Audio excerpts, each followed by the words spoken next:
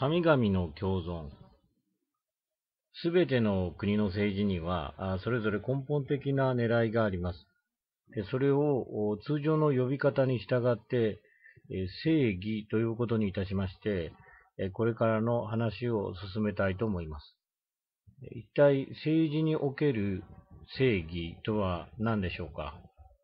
原始人にとっては、その属する部族の正義が人間社会のただ一つの正義だったようです。そしてその正義に反するものはすべて不正とされた。ところで、その部族の正義を具体的に決めるのは誰かと言いますと、それは多くの場合、その部族を守ってくれる神でありました。もっとも神は人間と違って喋ったり書いたりをしません。稀には神が喋ったり書いたりするのを聞いたり見たりしたという人もありますが、少なくともそれは普通人の経験の外にあることであります。ですから、誰か生きた人間が神に代わって神の言葉を喋ったり書いたりしてくれない限り、神の言葉は人間に通じません。で神の代人として、神の言葉を喋ったり書いたりしてくれるのは、多くの場合、その部族の政治的支配者でありました。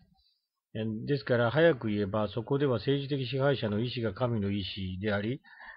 それが、すなわち政治における正義だったわけであります。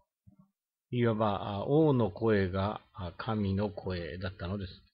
人たちはそういうふうにして示された正義が人間社会のただ一つの絶対的な正義だと信じていましたから、それと少しでも違う考えは明らかに不正だと信じました。明らかに不正だとなれば、それをどこまでも排斥するのは至極当然でありまして、正義の実現が政治の狙いである以上、明らかな不正に対してはあらゆる手段によって必要があれば腕ずくででも戦うことこそ正義にかなうはずであります。で明らかに不正と分かっているものを見逃したり、容認したりするということは、そうした不正を助けることに他ならず、それがまさしく不正だったわけであります。人間はしかし、王の声が神の声という原則に対して、だんだん疑いを持つようになります。一方で彼はしばしばその政治的支配者が神の声として示すものとは違ったものを正義と考える自分を見出すようになります。他方で自分の部族の正義とは違った正義を示す神が存在することを知るようになります。で人間にこういう疑いを持たせるのは人間の本質に内在する合理精神です。で合理精神は政治的支配者の示す正義が彼自身の考える正義に比べてより確実に神の言葉を伝えているという保証はどこにもないことを人間に教えます。または王が代弁する神、王の神の他に彼自身が代弁する神、彼自身の神が存在することを人間に教えると言ってもいいでしょう。合理精神は、さらに彼の考える正義は、必ずしも彼の隣人の考える正義と同じでないこと。いや、むしろ正義の内容は人によって違い、神の言葉も神によって、またはその代人によって違うのが通例であることを教えます。自民党の神と社会党の神とが、まあ、仮にそういうものがあるといたしまして、必ずしも同じ言葉を使わないことは、今日誰でも知っております。合理精神は時とところによっていろいろな違った正義が存することを人間に教えます。歴史と地理の知識がとりわけそれを教えるのに役立ったようです。歴史は同じ人間の社会でも昔と今とでは違う神が支配し、従って違う内容の正義が存することを教えてくれました。日本でも昔は巡視や腹切りや仇討ちが正義にかなうと考えられていましたが、今ではそうではないことを私たちは知っております。現在の日本人には戦争は正義に反すると考える人が多いようですが、まあ、戦争、少なくとも日本の行う戦争を正義にかなうものと多くの日本人が考えた時代が、そう遠くない昔でないことも私たちは知っています。え民主主義や自由主義は国体に反するから、それを否定するように教育しろと、全国の教員に指示した文部省が、それから10年と経たないうちに、教育は民主主義、自由主義に基づかなくてはいけないと指示したことも、無論私たちはよく知っています。え地理は、ところ変われば品変わるということわざが、神についても当てはまることを教えてくれました。この地球の上には、自分の神とは違った多くの神々がいること、それに応じていろいろ違った内容の正義があることを人間は知るようになりました。あるところでは複数の妻を持つことが正義にかなうとされるのに、他のところではそれは正義に反するとされます。原爆第1号を乗せたアメリカの飛行機が広島に向かって基地を飛び立つとき、従軍牧師はその飛行士がよくその使命を果たして、ということはつまり守備よく何十万人という人間を殺して無事に帰ってくるように神の加護を祈ったそうです。中国の空を爆撃のために飛び回った日本の飛行士たちも、無論、八百万の神々の加護を確信していたことでしょう。まさに、ピレネのあちらの正義は、ピレネのこちらの不正という次第です。でこういうふうに、え自分の部族の神の絶対的権威が疑われるようになると、政治の狙いとしての正義は、決して単数的存在でもなければ、定冠詞をつけられるべきものでもなく、むしろ複数的存在であり、不定冠詞をつけられるべきものであると考えざるを得なくなってまいります。正義は武器に似たものである。武器は金を出しさえすれば、敵にも味方にも変われるであろう。正義も理屈をつけさえすれば、敵にも味方にも変われるものである。で古来、正義の敵という名は、砲弾のように投げ交わされました。えしかし、習字に釣り込まれなければ、どちらが本当の正義の敵だが、めったに完全した試しはない。え、芥川龍之介は、授受の言葉でこう書いて、さらに次のように続けました。1923年のことです。えー、私は歴史を覆すたびに、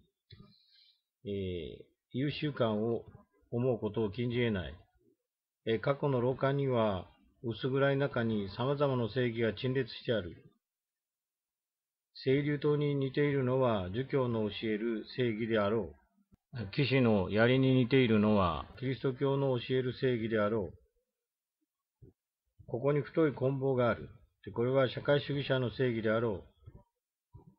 そこに房のついた長い剣がある。あれは国家主義者の正義であろう。私はそういう武器を見ながら、幾多の戦いを想像し、おのずから新規の高まることがある。しかしまだ幸か不幸か、私自身その武器の一つを取りたいと思った記憶がない。人間がかようにその王の示す正義はまさしく神の言葉であり、人間社会でただ一つの正義であることに疑いを差し挟み、人により、また時とところにより様々な神があり、いろいろな正義があると考えるようになりますと、もはやそれまでのように、神の代人としての長老なり、領主なり、国王なりに、政治を任せきりにするわけにはいきません。任せきりにしたのでは、それらの長老なり、領主なり、国王なりと同じ神を信じ、同じ正義を主張する人たちはそれでいいでしょうが、少しでもそれとは違う神を信じ、違う正義を主張する人たちは、自分の意に反する政治を正義の名のもとに押し付けられる羽目になる。でこれでは困ります。すべての人間は少しでも多く自分の正義と考えるところのものを実現したいと思うのが当然でありますから。でここで人間は大まかに言って次の二つの道のどちらかを取ることを余儀なくされると思います。第一の道は自分の神をどこまでも主張する道です。自分の正義を絶対的に勝たせようとする道。それが自分の部族または国の神であれ、それとは違う自分個人の心の中にある神であれ、とにかく自分の神の意志によって正義の中身が明らかに示されている以上、とことんまでその実現を図ろうとする道であります。そこの道に立てば何が正義であり何が不正であるかが確実に分かっているわけですから、あらゆる手段でそこで不正とされるものを排除すべきは当然だということになります。で戦前の日本では、祭わぬ者どもを祭わせることが主張されました。日本国の正義が人間社会のただ一つの正義であれ、それに反するものは確実に不正だとすれば、日本の天皇の密に祭わぬ者どもは確実に不正を犯しているはずであるか、たとえ武力によってでもこれを祭わせることが正義にかなうことになります。ですから、この道を進んだ当時の日本の為政者は、それに逆らう者を国の内であると外であると問わず、警察力や軍事力によって徹底的に押さえつけようとしたのであります。でこの道は必然にイントレランスの道になります。異端挫折に対しては少しも容赦しません。中世ヨーロッパの宗教細胞の取った道はこれでありました。神と悪魔とは本質上両立しません。そこで神の忠実なしもべたちは、悪魔と判定された不審の友柄を神の名において、極めて平静な良心をもって火あぶりにしたのであります。近くはアウシェビッツの道もこれでありましょう。ナチの指導者たちはユダヤ人を悪魔に違いないと確信していましたから、平然と、いや、冷然と彼らを最終的に処理しようとしたのでしょう。でこの道は自分の制御を絶対的に主張し、反対論に対しては徹底的に打ち手しやまんという態度をとります。しかし、それらの反対論者もまたそれぞれに自分の主張する正義が絶対的に正しいものと考えるに違いありませんから、彼らもまたその反対論に対して打ち手しやまんという態度をとるでしょう。その結果、様々な神やいろいろな正義の相互の間に、呵責ない戦いが生ずるでしょう。戦いとなれば、味方が勝つ場合もあるでしょうが、また敵が勝つ場合、すなわち味方が負ける場合もあるはずです。えー、昔、私が高等学校に入った時、運動部に属する先輩の一人が、明日の対抗試合において、我が校は絶対に勝つのである。勝ちたいとか、勝つであろうとかいうのではない。ただ勝つのである。などという非論理的な言葉で私たち新入生に気合を入れたものであります。しかし、いくら勝つのであると力んでみても、試合というものは勝つこともあれば、負けることもある。で、それを試合の結果がはっきり示してくれました。すでに負ける可能性がある以上は、この道を取る人は常にそういう可能性を計算に入れておかなくてはなりません。勝つ可能性ばかり計算に入れて、負ける可能性を計算に入れないのは間違いです。この間の戦争の終わりに、一億玉砕を唱えた人がありました。日本人が皆死ぬまで降参するなというのであります。これはこの道の極めて論理一貫した帰結だと言えましょう。あ昔、テルモピレーでペルシャ軍に敗れて玉砕したスパルタの兵士たちについて、シモニデスは、ここをすぐる旅人よ、スパルタ人に告げよう。祖国の命令に従って我らここに眠ると、と歌ってその名誉を称えました。スパルタ軍の場合は、彼らが全滅しても、祖国スパルタは残っていたのですが、一億玉砕の場合はそうはいきません。国破れて山がありを完全に文字通りに行くわけです。日本人が全部死んでしまうのですから、富士山や利根川は残るでしょうが、日本国民は跡形もなくなってしまうのです。せいぜいどこかの詩人が、かつてこの地に勇敢な日本人が住んでいたが、1900万年、天皇陛下万歳を唱えてみんな死んでしまったという意味を美しい文句に綴り、その勇気を称えてくれるだけのことでしょう。で、それでいいのだ。この道を取る人はきっとそう言うでしょう。正義のための戦いに敗れ、敵の不正が支配する世に何としておめおめと生きていかれましょうか。カントは正義の行われない社会は生きるに値しないと言いました。でもしこの言葉を文字通りに受け取り、そして戦争における日本の敵はすなわち正義の敵であり、従って日本の敗北はすなわち正義の敗北であると確信するならば、一億玉砕こそカントの教える道だったのかもしれません。ただその場合、勇ましくも玉砕する一億の中には、玉砕論者とは違った考えを持つ者がたくさんあり、それらの者もいやおなしに玉砕させられてしまうのだ、ということだけはぜひ忘れないようにする必要があると思います。第二の道は、これとは違って、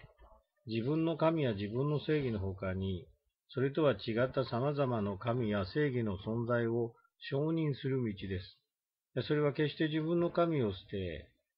自分の正義の旗を下ろしてしまう道ではありません。自分の神や自分の正義はどこまでも守り続けるのですが、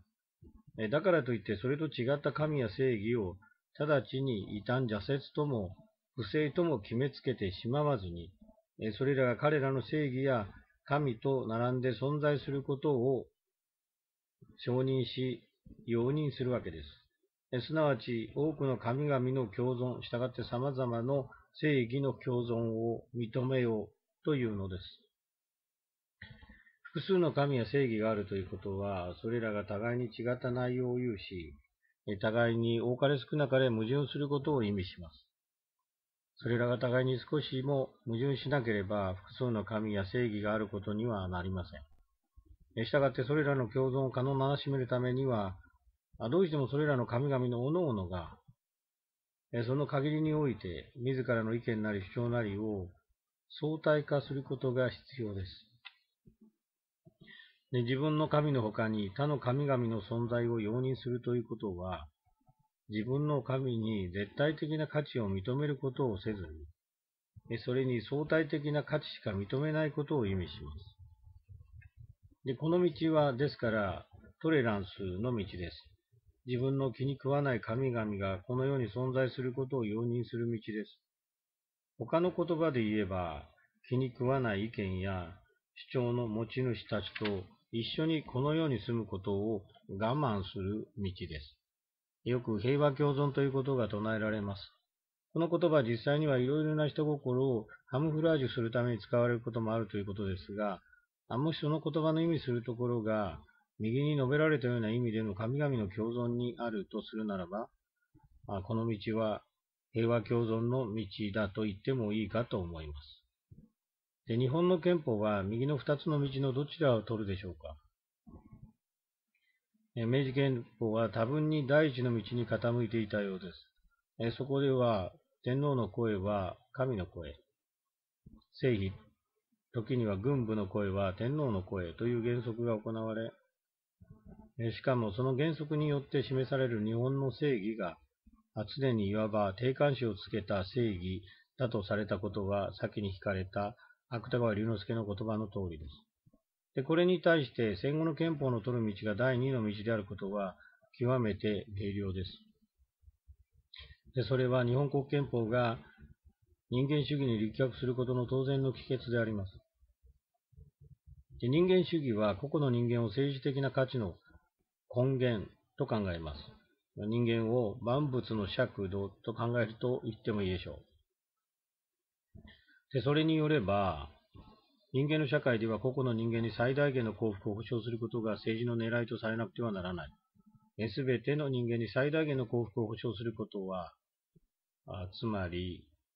すべての人間に人間らしい生存を保障する。それが可能であるためには、国内的に言えば全ての人が自分の神だけを主張し、他の神々を否定することなく、それら全ての神々の共存を認めることが必要ですし、また国際的には全ての国が自分の神だけを主張し、他の神々を否定することなく、それら全ての神々の共存を認めることが必要です。各人間、各国家がそれぞれ独自の神を持ち、したがって独自の意見なり主張なりを持つのは当然ですが、しかしそれらみんなが人類という同じ運命を背負っていることに着目し、すべての神が他の神を犠牲にすることなく、また他の神の犠牲となることもなく、何とかして人類という名の乗り合い船の中で共存していくことが必要です。もし、各々の神が、自分の嫌いな神々と一緒にいるのは嫌だと言って、互いに船の中で喧嘩をして船をひっくり返そうものなら、まあ、それこそ取り返しがつきません。戦後の憲法の生き方は、日本国内においてあらゆる神々の共存を認めようという生き方です。右の神と左の神が互いに違う意見を持って対立する場合に、その一方を立て、他方を否定してしまおうというのではなく、その双方を並び存在させようというのです。右の神と左の神の他に、さらに違った神があれば、それらもすべて並び存在させようというのです。キリストでも、ブッダでも、マホメットでも、また佐藤栄作でも、佐々木幸三でも、みんな共存させようというのです。で共存というのは大変歯切れの悪い状態でありまして、たくさんの神々が共存するという状態は、その個々の神の立場から見れば、決して十分満足すべきものではないに違いありません。すでに神という以上、どの神の狙いも世界を征服するにあるはずです。キリスト教の狙いは地球上に神の国、キリスト教の神の国を打ち立てるにあるでしょうし、共産主義の狙いは世界中を共産主義の支配のもとに置くここにあるでしょう。ましかし、すべての神々がこの世界に共存するとすれば、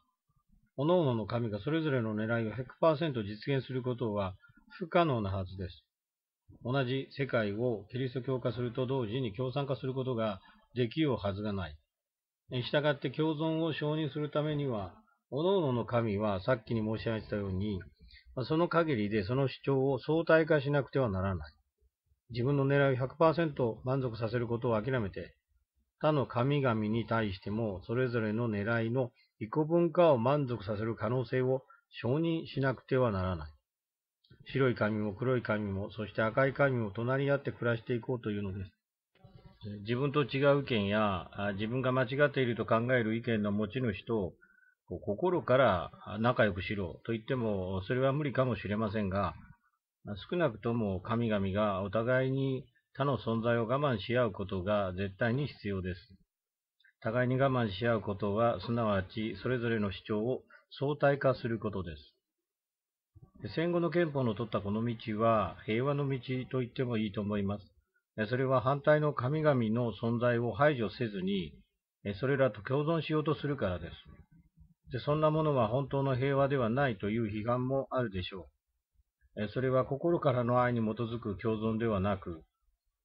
まあ、いわば喧嘩しては損だというような計算に基づく、休戦に過ぎないとも言えるでしょう。それは確かにそうです。そういう共存がそういう計算に基づく休戦の要素を含んでいることは否定できません。もし真の平和というものは、そういう合理的な計算と離れて、純然たる愛のみに基づいて人たちが仲良く共存する状態を言うとするならば、おそらくここに述べたような神々の共存状態は真の平和の名に値しないと言うべきでしょう。まあしかし、この人間の社会でそういう真の平和というものが果たして望みうるものでしょうか。